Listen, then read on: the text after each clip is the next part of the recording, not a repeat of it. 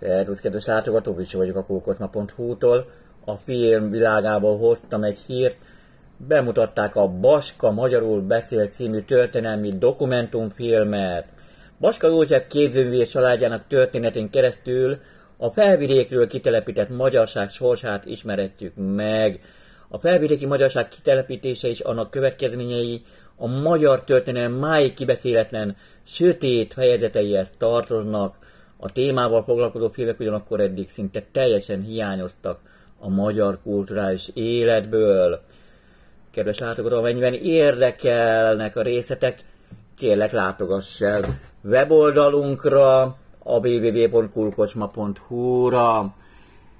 Egyébként egy személyes történet, Hódmező vásárhelyen élt és alkotott Stener Béla zeneszerző, karnagy, gimnáziumi tanár, és bizony az ő családját is kitelepítették, annak idején felvidékről, Érsekújvárról, és bizony kemény élettörténete volt, és fent tudott maradni, és alkotott a Csonka Magyarországon.